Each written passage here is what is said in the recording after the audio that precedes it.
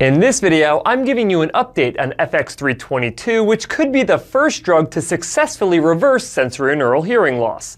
Coming up.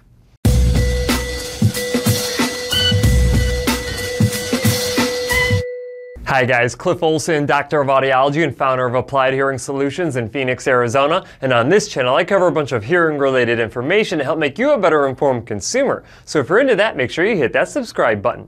And don't forget to click the bell to receive a notification every time I post a new video. About six months ago, I released a video about a new exciting drug called FX322, which may be the first drug ever to actually reverse sensorineural hearing loss. And if you haven't seen that video, I will go ahead and link it in the description. However, there have been some new developments, including evaluating the long-term effectiveness of FX322 and the biopharmaceutical company Frequency Therapeutics progressing into phase 2A of their clinical trials for FX322. For a little bit of background, the drug FX322 was developed with the goal of regrowing or regenerating hair cells inside of the cochlea, which is our hearing organ. If successful, it could result in hearing improvement for individuals who have sensorineural hearing loss, which happens to be the most common form of hearing loss. During phase 1A of clinical trials, which is designed to determine the safety of FX322, they also identified a statistically significant improvement in word recognition scores, as well as slight improvements in hearing thresholds at 8000 Hz. This suggests the drug's ability to successfully restore some inner and possibly even outer hair cell function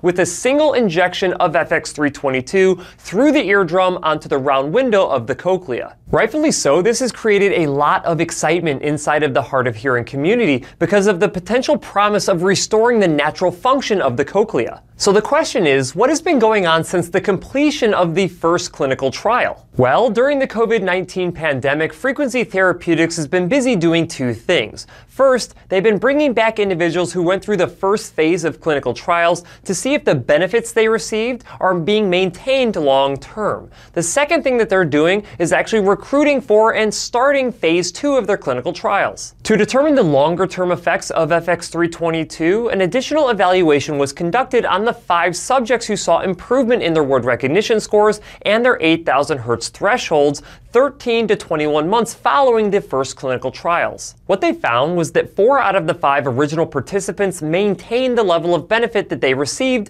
from FX322, and three out of those four maintained a statistically significant level of improvement. This suggests that even with a single dose of FX322, that most individuals who received benefit from the drug were able to maintain their level of benefit for up to 21 months. Now that is fantastic news, but what about this next phase of clinical trials? Well, the enrollment for phase 2A of 95 subjects was completed in September of 2020. This phase of clinical trials is what I find to be the most exciting because even though they're still continuing to see if this drug actually has a good safety profile, they're now starting to look at the actual efficacy of the drug. First and foremost, the Phase 2A trials with 95 subjects will take seven months to complete, and the final subject is expected to complete the trial in April of 2021. The subjects in the Phase 2A trial will be randomly placed into one of four groups.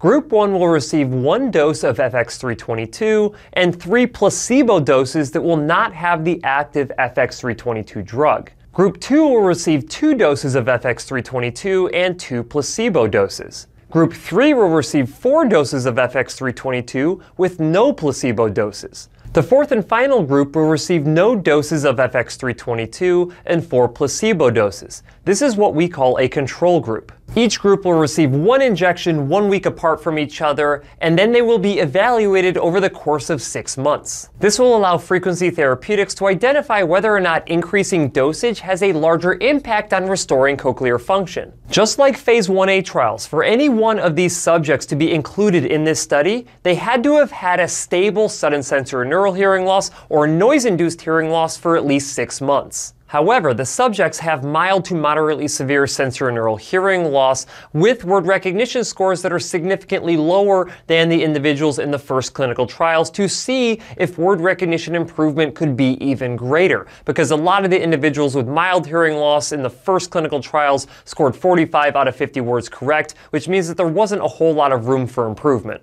Frequency Therapeutics is also incorporating some standardized outcome questionnaires like the HHIA, which is the Hearing Handicap Inventory for Adults, and the TFI, which is the Tinnitus Functional Index. So they can see if there's actually some subjective improvement in hearing ability as well as with tinnitus perception. In the future, they will also be looking to expand these groups to include individuals with age-related hearing loss, otherwise known as presbycusis. If positive results are seen in phase 2A of these clinical trials, which we would expect to become available in the second quarter of 2021, then we expect Frequency Therapeutics to start phase 3A clinical trials and even apply for breakthrough designation with the FDA. Breakthrough designation is given to drugs that are intended to solve an unmet medical need where there are no other drug therapies available. This can essentially speed up the clinical trial process, much like the fast track designation that Frequency Therapeutics received in their earlier clinical trials. Since there are no drugs currently available to treat sensorineural hearing loss, phase 3 will not technically look at FX322 in comparison to another drug.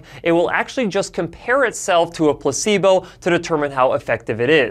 Phase 3 clinical trials will be even larger and will be used to determine whether or not the FDA approves FX322 as the first drug to treat sensorineural hearing loss. Overall, this is some pretty exciting news for individuals who have hearing loss, because it means that there is some promise that at some time in the next decade, we could see our first therapeutic drug to actually treat hearing loss. Of course, until that time arrives, if you have sensorineural hearing loss, the best thing that you can do is to create some auditory stimulation with hearing aids. Not only will this improve your ability to hear and communicate right now, but it may lead to an even better outcome if and when FX322 becomes available. That's it for this video. If you have any questions, leave them in the comment section below. If you liked the video, please share it. And if you want to see other videos just like this one, go ahead and hit that subscribe button.